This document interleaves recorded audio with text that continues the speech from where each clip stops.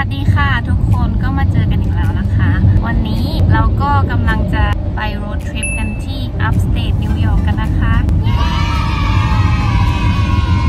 ที่ที่เราจะไปวันนี้นะคะก็จะเป็นน้ำตกไนแองการาซึ่งเป็นน้ำตกที่มีเขาเรียกว่าอะไรมี flow rate ของน้ำเยอะที่สุดในโลกมั้งถ้าเราจำไม่ผิดนะ น้ำตกไนแองการานะคะ ก็จะอยู่ระหว่างชายแดน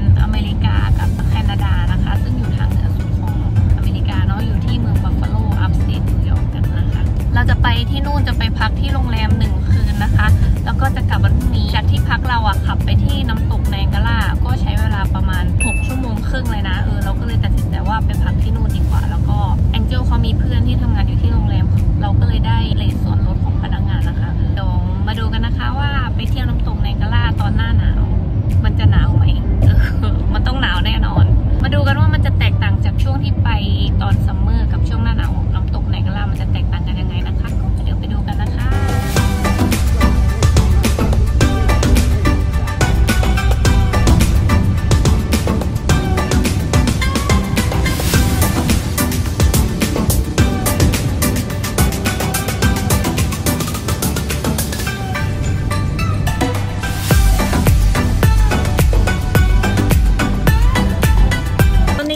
ก็แวะกินแม็กระหว่างทางนะคะ เติมพลังในการขับรถไปที่ไนแองการาฟอนะคะ